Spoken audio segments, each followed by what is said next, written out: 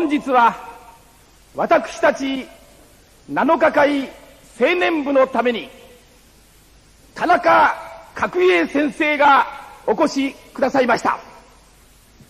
田中先生早速でございますがご講演をお願い申し上げます。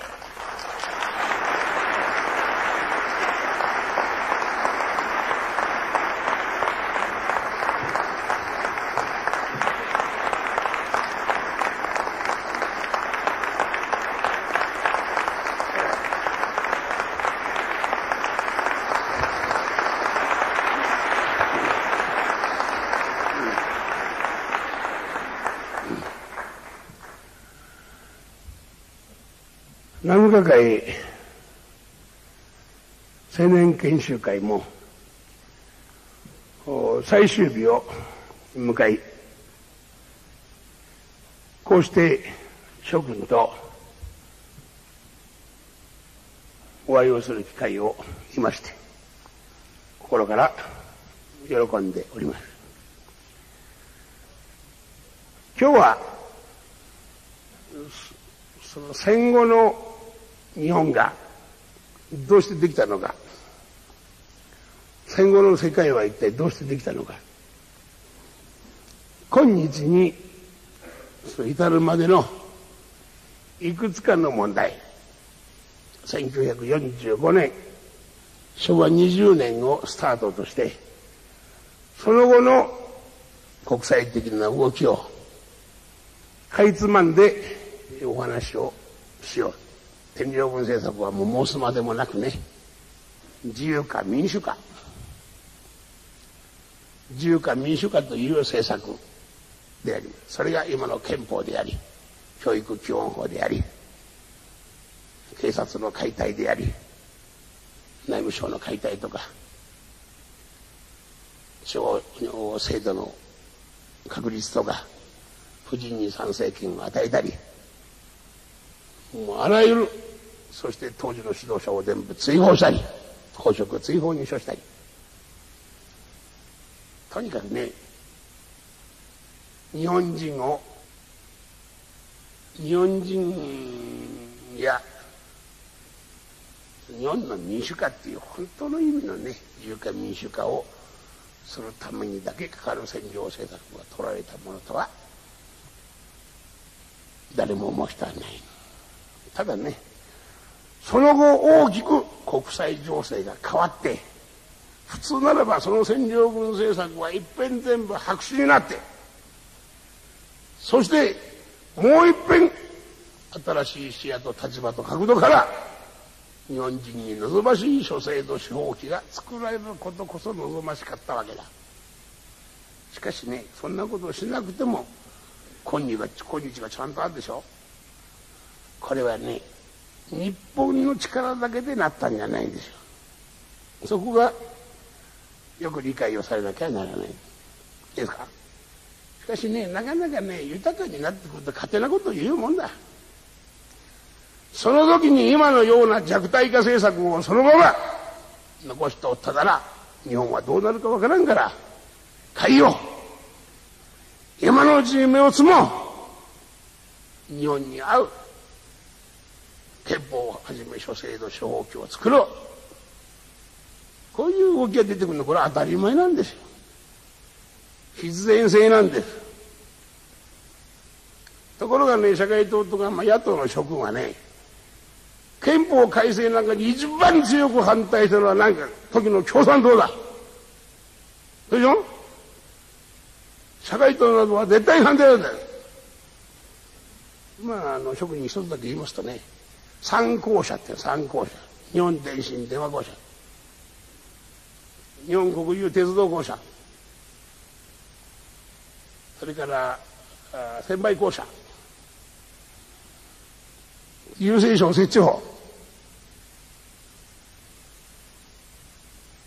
これ見てごらんなさいよ。日本分じゃないから。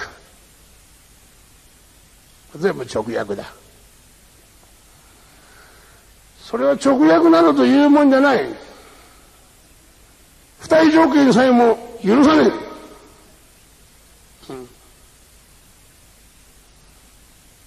それだけじゃない憲法に書いたんだから、国会は唯一無二の立法府である。いわ衆議院議員である。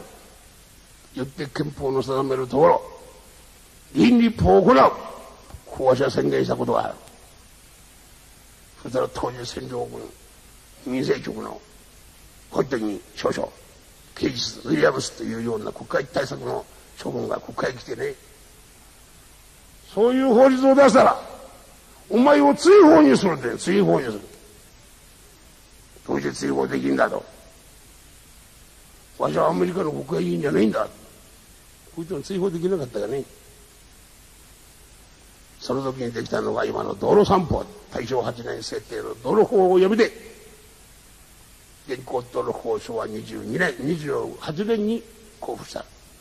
有料道路制度を取ったガソリン税を目的税とした道路整備の財源等に関する法律と、有料道路制度を明治から初めて採用した。みんな反対だった。政府も反対だったけどね。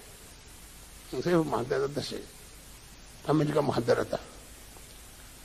こんな大きな道路を作ったら、軍用道路として西ドイツが第二次戦争を起こした時と同じくなる。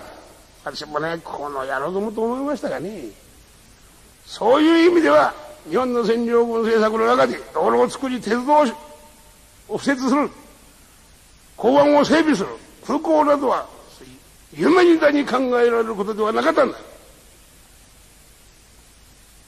そういうものがね、ちゃんと今日我々の生活の基盤になったのに、そういうものを認めようとしない。そういうものを無視したい。いつまでもいつまでも、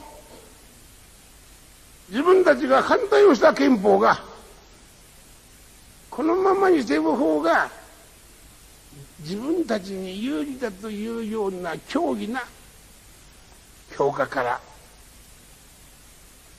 そういうその政策とか政策態度を取ってるから彼らは関数以上の国民の支持を得ることができないんです。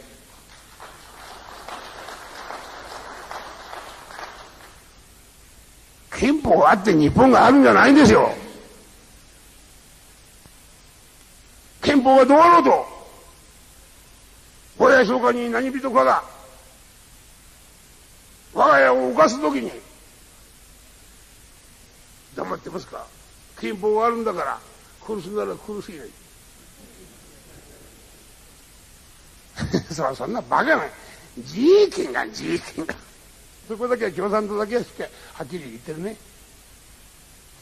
自衛権があんだ。自殺自殺したい者にはさせろってんだ。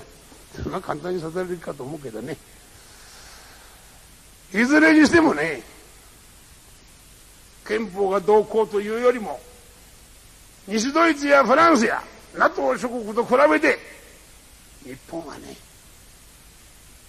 戦略的要衝として格段の優位に立っておるということだ。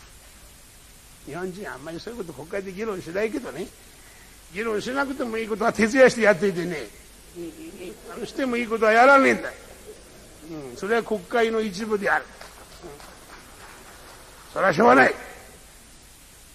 そうじゃないですか？中国というのも、ね、共産党だと言うんですけどね、私はあの、周恩来首相と会った時に、私は共産党好きじゃないんで、嫌いだとは言えないからね、好きじゃないんです。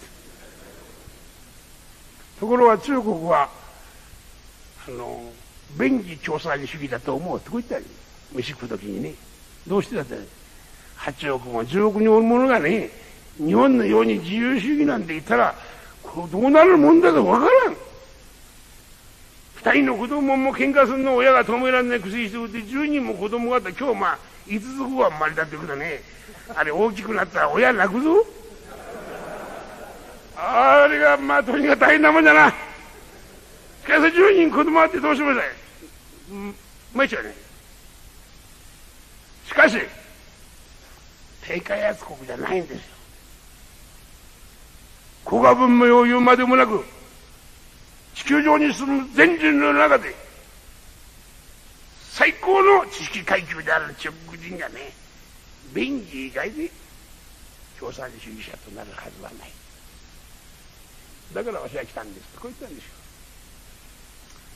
だからね第一ね世界中で最も自由な経済論者は誰だ。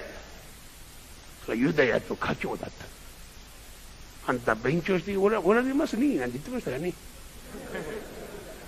皆さんこういうね少し楽々とした中で真実でね誰でもうなずけるせお互いにね意思の疎通を図っている。